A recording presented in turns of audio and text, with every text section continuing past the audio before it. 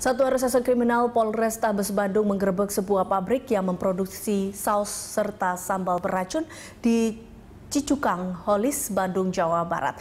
200 ton saus daur ulang tersebut serta bahan kimia berbahaya disita oleh petugas. Kedatangan petugas secara mendadak tidak mendapatkan perlawanan dari tersangka ED saat tengah memproduksi saus. Polisi menyita ribuan saus serta sambal berbahan kimia siap edar di dalam gudang.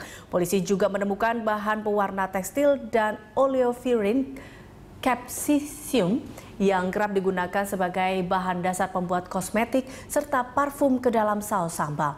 Tersangka ED mengaku mampu memproduksi saus sambal berbahan kimia sebanyak 200 ton per hari dengan penghasilan mencapai 100 juta rupiah per harinya.